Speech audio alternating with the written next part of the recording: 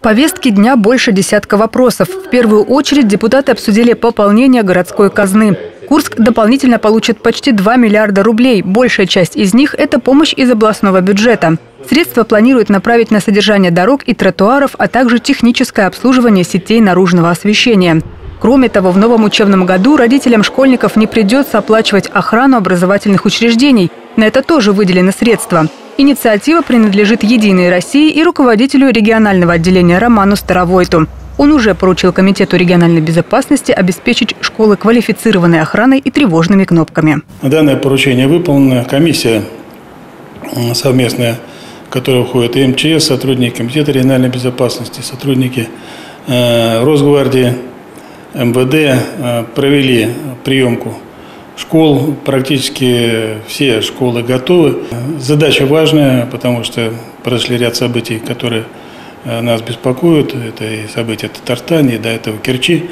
Поэтому безопасность э, наш, наших детей, учеников, школ находится на особом контроле губернатора Курской области.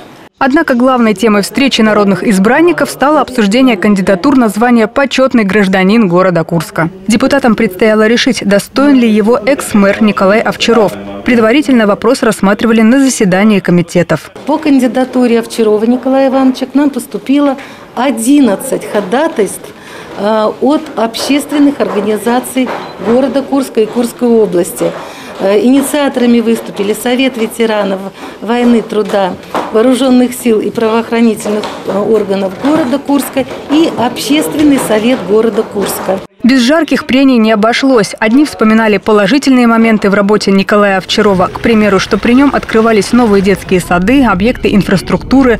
Другие упирали на городские проблемы, так и нерешенные при нем конечном итоге за присвоение звания проголосовали 24 депутата, против четверо и еще двое воздержались.